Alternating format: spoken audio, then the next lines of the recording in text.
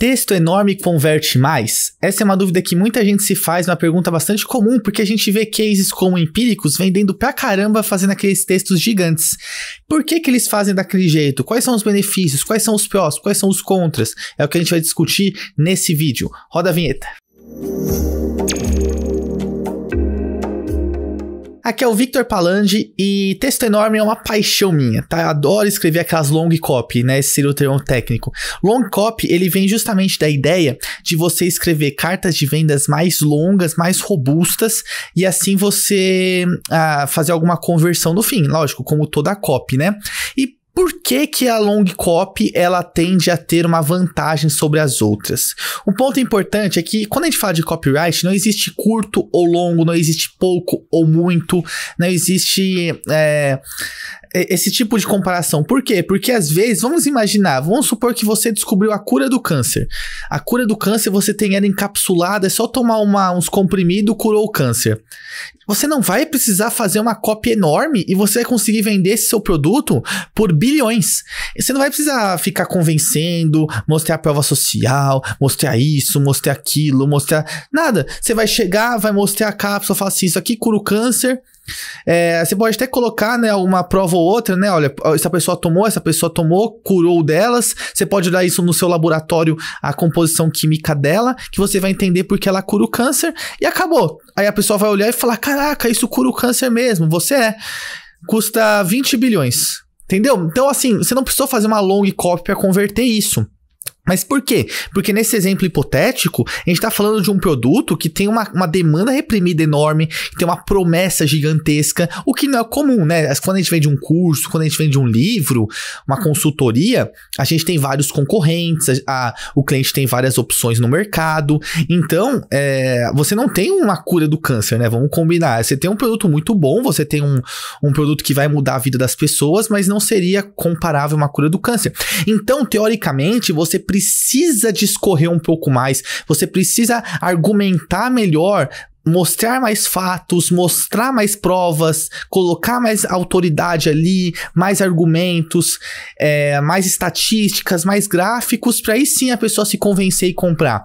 Então a long copy ela tem como vantagem permitir que você consiga articular melhor a sua argumentação e ser muito mais persuasivo. Você consegue assim é, transmitir muito mais conhecimento, transmitir muito mais confiança. Quer saber um caso de um long copy que funciona extremamente bem e você não deve ter percebido? Fórmula de lançamento. Se você for reparar, a fórmula de lançamento, a clássica, né, é dividida em três vídeos, em que você assiste cada vídeo CPL e depois no quarto vídeo vem o vídeo de vendas, correto? Se você for ver, uh, os três vídeos eles são uma continuação um do outro, né? Eles têm uma linha aqui, uma linha mestra. E isso não deixa de ser uma long copy, uma long copy que foi quebrada em três vídeos. Então, é um exemplo. Assim, você, beleza, você conseguiria vender um produto de 3 mil reais fazendo um vídeo só? Talvez sim. Você consegue, se a sua oferta for boa, você vai converter. Mas se você fizer três vídeos de uma hora, três vídeos de duas horas, você vai ter aí um total de seis horas para estar tá argumentando, seis horas para passar conteúdo, seis horas para transmitir confiança, credibilidade, fazer uma grande oferta e gerar conversão. Então pode perceber que a fórmula de lançamento ela funciona muito bem para produtos de alto ticket, justamente porque você tem mais tempo e mais espaço para estar tá argumentando. Coisa que se você faz em um vídeo só, às vezes de 20, 30 minutos, você não vai ter toda essa profundidade que você consegue.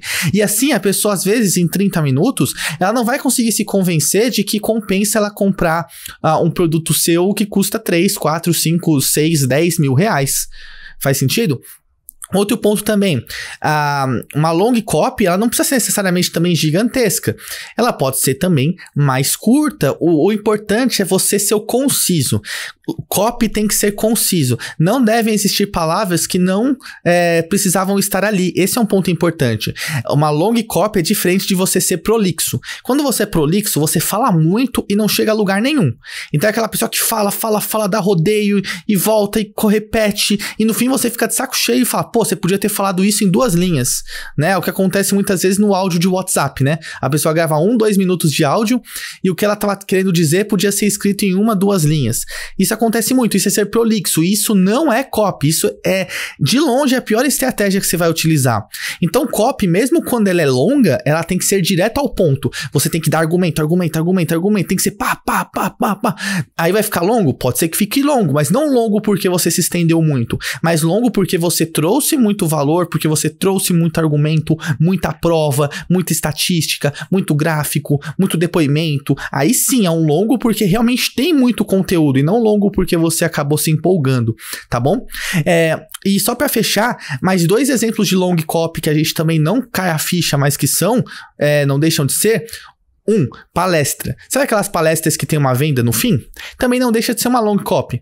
Por exemplo, se você ficar na palestra de duas horas, o cara ficou lá duas horas falando, para no fim ele te oferecer algum produto, alguma mentoria, alguma coisa não deixa de ser uma long copy também, porque em vez de ele fazer um vídeo lá, uma palestra, né, um, uma coisa de 20 minutos ali, ele ficou duas horas falando, duas horas dando, mostrando slides, para no fim ele te fazer uma oferta.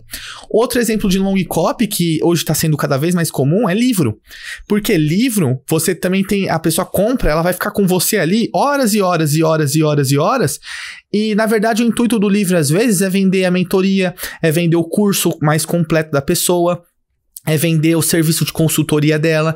Então, o livro, se você for reparar, ele não, ele não é um livro, ele não é um conteúdo igual uma copy que é assim, você sabe que é para venda. Mas se você prestar atenção, você vai perceber que várias vezes ele faz referência ao produto, várias vezes ele mostra depoimento, várias vezes ele fala que existe uma opção mais completa, ele vai deixar algum link para você conhecer essa opção completa. Então, você vai ver que ele vai dando ali é, vestígios de que tem um produto. Então, não deixa de ser uma persuasão. É uma persuasão mais velada, uma persuasão mais tranquila, mais suave? É, porque aí não tá ali o tempo todo, né? Compre, compre, aproveita, oferta irresistível. Não, é um livro. Só que ao mesmo tempo, se você, quando você chega na última página, ele fala: Ah, chegamos até aqui, se você quer dar continuidade a esse, a esse conhecimento, entre em contato, ou então baixa é, os, os arquivos bônus, ou então assista esse treinamento online, e aí faz um gancho para começar a tentar vender alguma coisa. Por quê? Se, você, se a pessoa ficou lendo o seu livro durante seis, oito horas, horas, ela tá muito engajada com você, muito mais engajada do que uma pessoa que assiste um vídeo de 5, 10 minutos.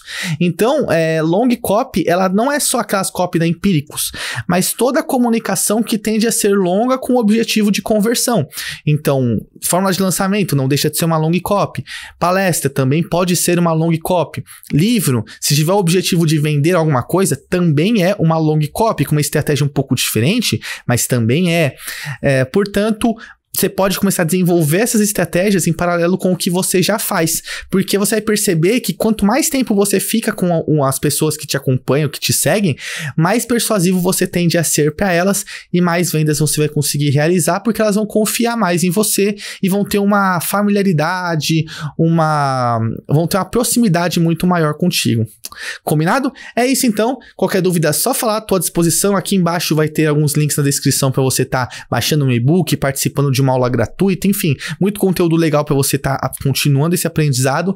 E eu te espero numa próxima oportunidade. Forte abraço e até logo. Tchau, tchau.